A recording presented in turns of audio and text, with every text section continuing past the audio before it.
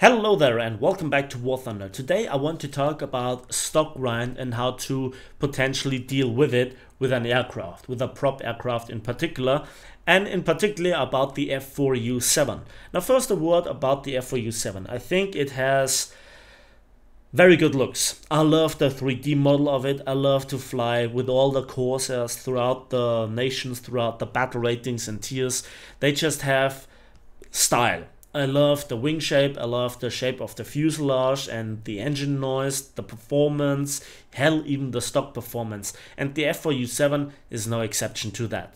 So I really, really fancy the reflections and you know the ripping on the on the wings, uh, the visuals, and so I think yeah, a lot of people think that I'm not the very best pilot, but you don't have to be the very best pilot to get something out of the battle.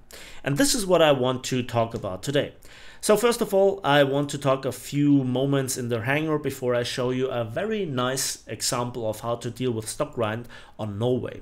So as you can see, I just have the 20mm belts, the radiator and the fuselage. So which upgrades do you want to research first?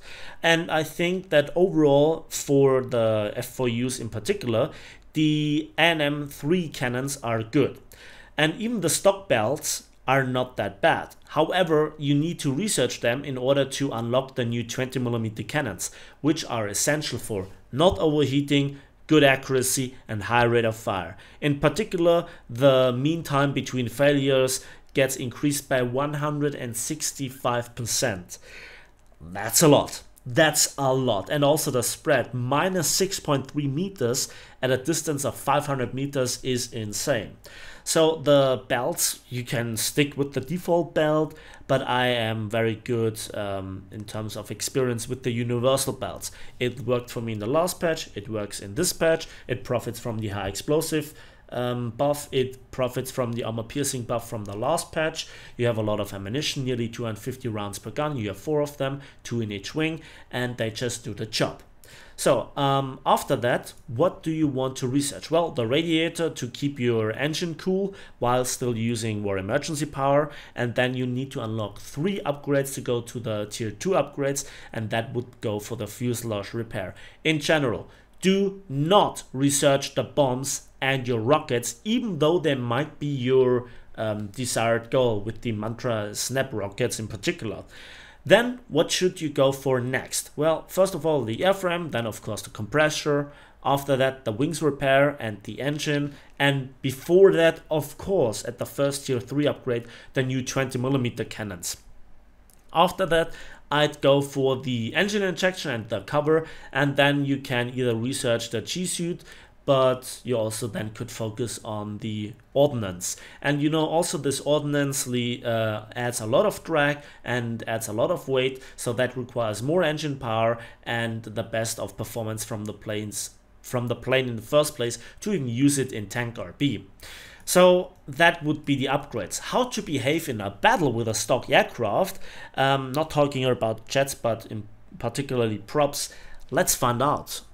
And of course, it happened to be a battle on Norway, and I think it is a very good showcase, and it runs everything perfect. Now, this is not an ace match, a little bit of spoiler ahead, but the results prove me right. So, what am I looking for? Well, I am not looking for the initial performance fight, you know, the race to the clouds. No, we're not talking here about Pikes Peak, but we are talking here about, um, you know, the initial climbing stage uh, of the aircraft, and the German aircraft are pretty good at this, especially the Bf 109s, and just Griffon Spitfires could counter them if the allied players would bother to climb at all. In this battle, actually, I couldn't complain, and the allied team actually worked together.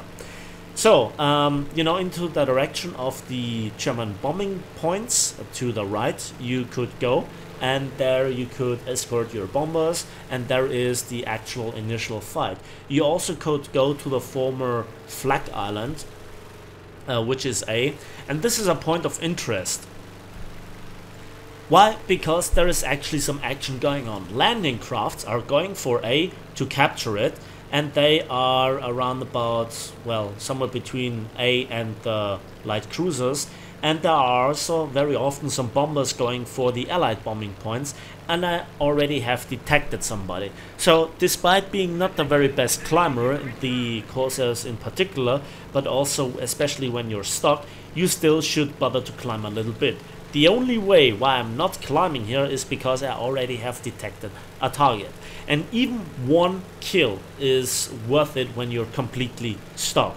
I'm talking about a player kill. Even if you trade, you are not a penalty to your team. And this is where I often rant about fully upgraded P-47s, P-51s and some other allied aircraft going for the howitzers and the AAA on the uh, flag island. That is just, or you know, the former flag um, airfield. That is just nonsense. That's just uh, putting a good plane to waste, not even bothering the fight. So here we can see uh, there is a German bomber at work. It looks like a Heinkel 177 and they are, you know, not that uncommon. They are fantastic bombers, fantastic payload, good defensive firepower, fantastic overall performance, but also they carry three Fritz X, so a lot of the people now want to research them. So I have actually given this guy the chance to drop, and now he's at the end of the food chain. While he's firing at me, I just uh, can make work of my 420mm cannons, and they don't disappoint. I think the American 20mm were always nice, especially on props. Again, not talking here about jets. So that's now the first kill. That was just one bomber in the vicinity and sadly no German aircraft went for the patrol boats. On the other hand, the patrol boats or landing boats can now uh, go to A, decapture it and eventually capture it so that we actually have something else than our aircraft carriers to land on. And not every aircraft is suited for landing on an aircraft carrier. Yeah, I know the Iron Armenian lands everything on a carrier because because. Yeah. So now I want to reclimb. So what now happens is that the furball um, in the direction of uh, our bombing points or the German bombing points you know the ones on the right um, that there is some furball going on. Aircraft are dueling each other, they're dropping altitude, they're dropping altitude, they receive damage, they're wasting ammunition. So when now I come in uh, later on and I just can pick off one or two aircraft, I help my team and I'm uh, leveling out the odds. So this is my initial thought. There is no use of me dying early on and then just being dead.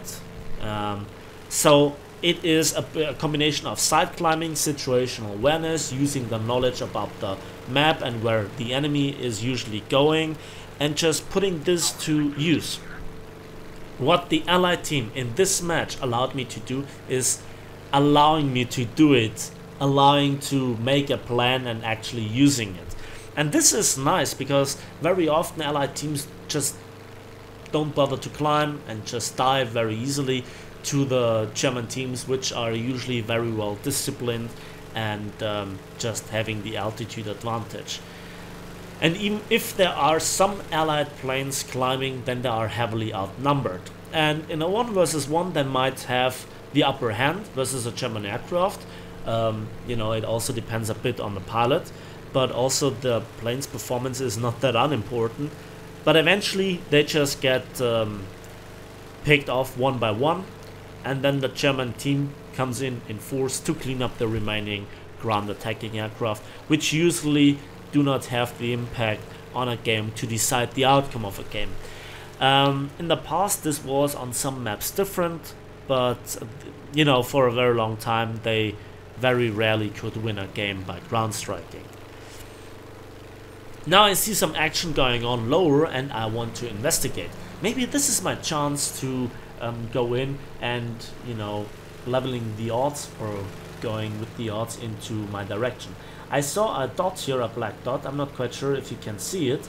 Um, and then I realized just in a moment, hey, wait, hold on, he's going between, uh, um, you know, some ridge lines. He's going for this airfield to land there. So um, that would be stupid to go after him. Now, Um, there is a sandwich, and um, yeah, two aircraft got killed. The P-47 got the Bf-109K, and the Focke-Wulf now got two kills on the Wyvern and on the previously successful P-47M.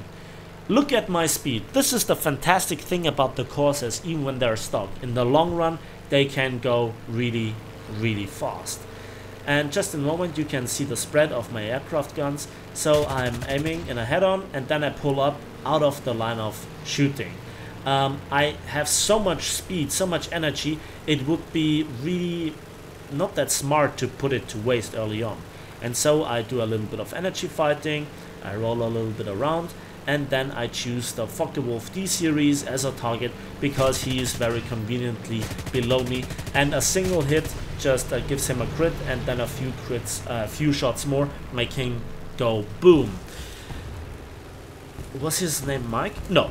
So you're used to bad jokes being free on this channel and the other aircraft also got killed. So now we have to go on. But then for quite some time nothing more happens. Now eventually I saw here an enemy Bf-109 at higher altitude and I wanted to, well, say hello to him by putting here on my white smoke. And no, that is this time not a synonym for a French war flag. so I turn into him and he just decides to not go after me, which could have ended badly here for me and I want to trick him a little bit lower so eventually you know that he loses his altitude advantage and we can outturn him he was pretty defensive uh, early on and now we know why because his friend arrives at even higher altitude so he tries to leveling out the odds now I try to gain some altitude from my speed then to turn around and hopefully help my team I'm no use in a direct energy fight versus a probably fully upgraded Bf-109. Um, I'm completely stuck except for the um, ammo belts.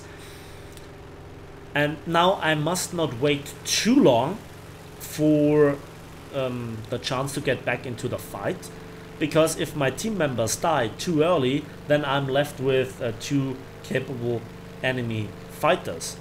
And again, I'm stuck. If I do not hit um, the shots in a head-on, then I think that's really, really bad for me. So again, a head-on, I shoot at long range without the hope of hitting anything, despite that I get a hit, but it's not really drastic. And now I do a little bit of a um, baiting maneuver, I'm going in a low stall fight, and or a low altitude stall fight, and I have team members that actually had a shot on the K4. Despite me being stuck, I still can turn in such a way that the Bf-109 K4 ends up in front of me. And then we spray a few shots and we hit him once and now with his final breath where I take him down, I jam 3 out of my four 20mm cannons. So I already have 3 kills. I think I have my... Uh, I've done my job and now I have to RTB.